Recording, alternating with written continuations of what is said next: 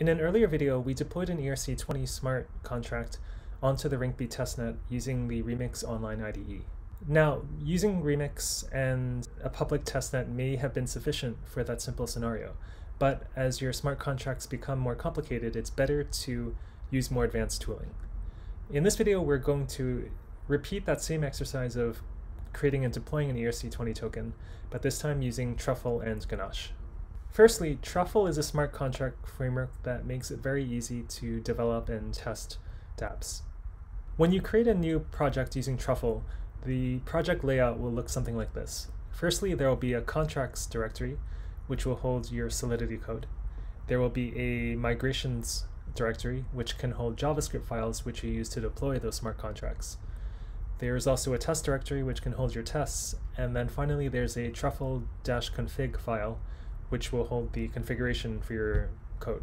Ganache is a mock Ethereum client that basically simulates a personal blockchain running on your desktop. In the early stages of development, it's much faster to use a private blockchain like Ganache in comparison to a public testnet like Kovan or Rinkeby. This is because on a public testnet, you would have to wait for blocks to be mined, and you might also have connectivity or network issues. By using a private blockchain, you remove a lot of these other environmental factors that might interfere with your testing and allow you to focus exclusively on the logic in your smart contracts. Before proceeding, you should first install Truffle and Ganache on your own system. Depending on what kind of computer you're having, the steps might be different, so I'm not going to cover it in this video. So I've created an empty directory that will be used for our testing. So now I'm going to go call truffle init. This will create our truffle directory, and then I'm going to open it with VS Code. In this new truffle workspace, we have our contracts folder, which will hold our smart contracts, and we can see that there's already an existing migrations.sol, which is going to be used for deployment, and we're going to leave that alone. And we also have an existing JavaScript file in the migrations folder, which is going to be using that migrations.sol contract and we can also leave this alone. We have our test directory and we have our config file. So in this config file, we can configure things such as which network we want to deploy to. So first, let's get our ERC20 token contract into the contracts folder. So I'll create a new contract. Let's call this one bob token.sol and I'm going to paste in the ERC token contract that we created in the previous video. Next, I'm going to compile our code using truffle compile.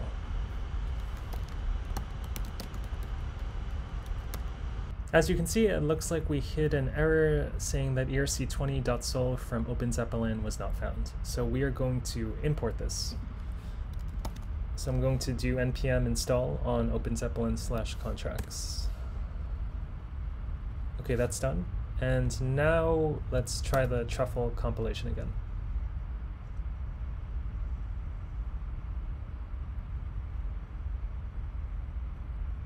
Okay, this time it finished. Going back to our code, we can see that Visual Studio Code has imported the Open Zeppelin code for us into this node modules directory. If we go down there, we can see erc20.sol, where we have the Open Zeppelin implementation of the ERC20 contract. We already covered the ERC20 implementation in a different video, so we won't go into this code in this video. In the build folder, we can also see that the compilation has generated these JSON files which contain the ABI interfaces and the bytecode for our smart contracts. Next, we have to generate a migration file for our Bob token smart contract. So in the migrations, I'm going to create another migration file. Let's call this to initial migration. In the second migration script, we're going to take bobtoken.sol and deploy that ERC20 smart contract with a total supply of 1 billion. Before we can deploy the smart contracts, we first need to get the Ganache command line interface up and running. So I'll open a new window and I'll type the command to start Ganache. And here you see Ganache has started, and we have 10 available accounts with 10 private keys, and each account has 100 Ether. So now I'm going to deploy using truffle. So in this case, I will call truffle migrate. And there's an issue here in that truffle is unable to connect to Ganache on port 7545. To fix this problem, we have to go into our config in truffle. So this will be our truffle.config file. And now we have to set up our network to connect to our local Ganache. So this would be development on port 8545. Let's try the truffle migration again.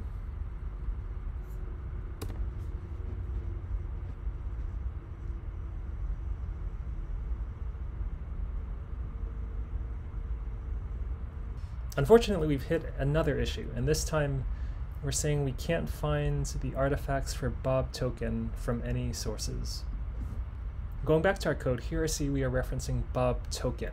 However, the smart contract is act the constructor name is Bob, so we actually have to call Bob instead of Bob token. So let's change that back to Bob.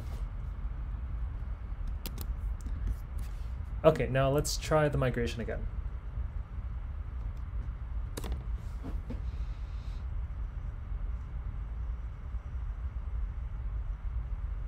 Great, and this time we can see two initial migration.js has finished. We're deploying Bob, and there's our contract address and our account. And in the Ganache window here, we can also see the same items. Now let's interact with this using the Truffle console. Using the console, we can write JavaScript to access the contract. For example, if I, I can store the contract in this bob variable, and now if I see what bob is, this is our smart contract, and there are all the methods that we have. For example, because it's an ERC20 contract, you can get the number of decimals in the contract, you can get the name of the contract, you can get the symbol of the contract. So let's try that out. For example, if I do bob.name, then I get the name of the smart contract, which is bob. If I want to get the symbol of the smart contract, I can just do bob.symbol. To get the total supply of the ERC20 token, I can call await and then cast it to a string. By default, when we were deploying the smart contract, Truffle used the first account that was in that list of dummy accounts in Ganache. So let's check the balance of that account. If I go up to the list of available accounts, I can grab this address here. I can check the balance of that account by using this command, and then you can see the balance is 1 billion. Please let me know in the comments if you have any feedback or thoughts, and let me know what videos you'd like to see next.